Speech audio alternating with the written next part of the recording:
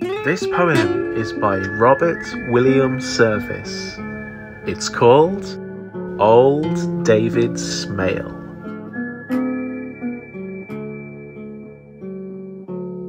He dreamed away his hours in school.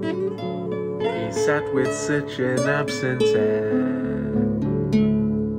The master reckoned him a fool up in dull despair.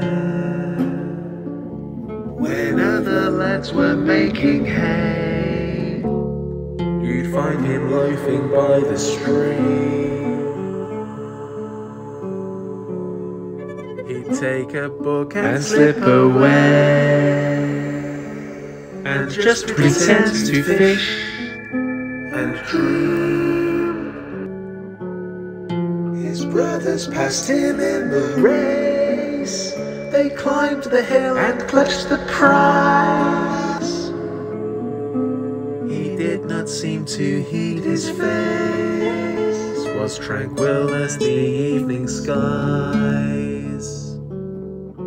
He lived apart, he spoke with few. Abstractedly through life he went. Oh, what he dreamed of no one knew. And yet he seemed to be content. I see him now so old and grey, his eyes with inward vision dim.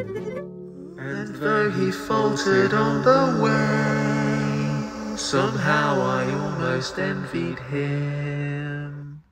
At last beside his bed I stood, and his life done so soon he sighed. It's been so rich, so full, so good. I've loved it all, and so he died.